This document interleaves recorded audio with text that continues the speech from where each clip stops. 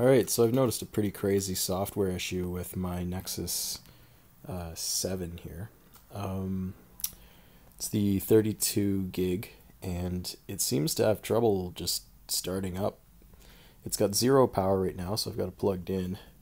And uh, I'm just going to go and push this power button here, which should boot it up. And uh, last time I recorded a video like this, it was for the broken power button on the Nexus S. And the comments actually turned into an area for people to sort of provide links and resources to resolve the issue. So hopefully this can be a similar uh, terminal point for people to uh, pool their knowledge and figure out what's going on here because you're about to find out that uh, there's a pretty serious issue with this tablet.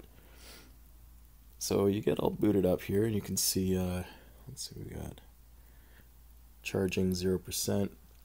Software update. We're waiting for that. And usually it just takes a few seconds and then you'll see some pretty crazy uh, static, like pretty much like a, an old TV having trouble.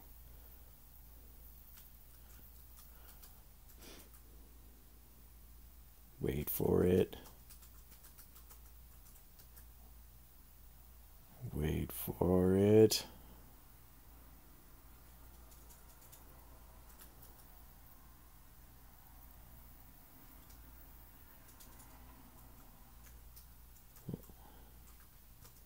Turn itself off.